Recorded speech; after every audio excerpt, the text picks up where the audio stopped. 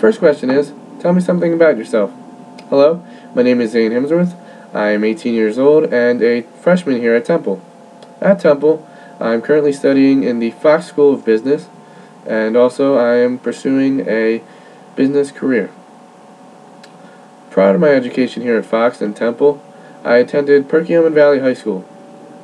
At Perkiomen Valley, I was an active member of the Rotary Interact Club, the ice hockey team, and also the lacrosse team. As an active member of Rotary Interact, I helped coordinate and run various charity events. For example, I helped to run the 5K walk and run, the breakfast social, and also a charity bake sale. This organization was nonprofit, and all the proceeds benefited right back to the Perkiomen Valley community. As I said earlier, I was a member of the ice hockey and lacrosse teams. I was a varsity player on both for the first four years of my high school. And the last two years, I was also a captain on both teams. As a captain, you have to know how to be a leader. You know, have to know how to rally the troops. This is something that I've learned in HRM as well.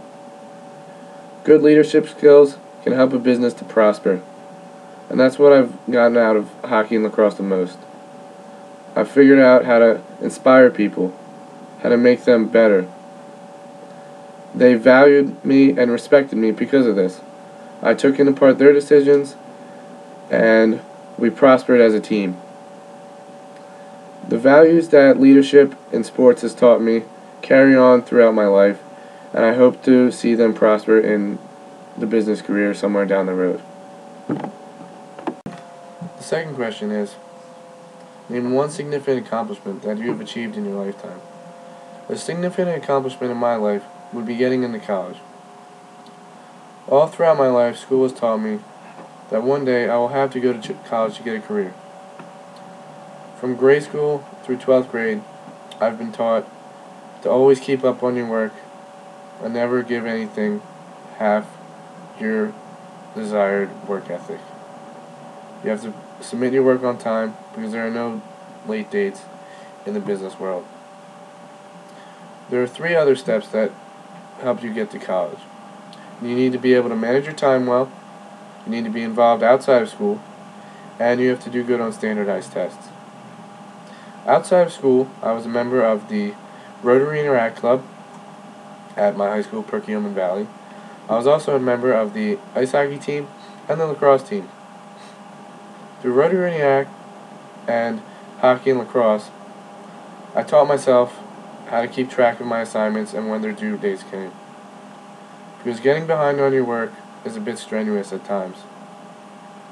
You begin to stress out and you figure out that you're not giving your best effort on your assignments. Teachers would rather see a good assignment that you spent time on rather than a crappy assignment that you haven't. As in the business world, this is true. Besides being out of school, time management is key. Key. Also, you need to gear yourself to be able to take a standardized test. Time management and out of school involvement are only half the battle. Being able to take the SATs and pass with a good score is the other half of the battle. Myself, I took the SATs three times because I wasn't satisfied. My hard work and perseverance on my third test gave me the grade I wanted and eventually helped me fight my battle into getting accepted at Temple University.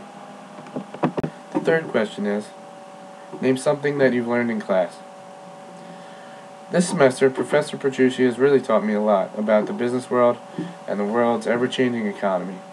But there are two things that I would like to key in on. He has taught me how to become not only a manager, but also an inspirational leader. He has also taught me how to manage my time very well. I'll start off with time management. Um, it is very important as a college student to be able to manage your classes and assignments very well because in the career world or the future business world, there are no late dates. You can't uh, submit a project late and expect your boss to be happy. There are due dates for a reason. That's when your project is due. So I value the time management aspects that P- Professor Petrucci has taught me. He's also taught me to become a very inspirational leader. You need to be able to motivate your team rather than just boss them around to work with you. A manager often fails because he lacks leadership skills. If you lack leadership skills, your team will not support and respect you the way you may respect your team. An inspirational leader often has a successful team wrapped around him because he puts them up, inspires them, and inspects great work out of them. They give him the great work as feedback because he has the charisma and input to the group that they expect from a leader. As a leader, Professor Petrucci has taught me that you can do anything you want in this world. You can lead a company, you can lead a team, you can coach anything. As long as you have the ability to motivate and pursue the end goal. Your people will follow you and you will get a great end result.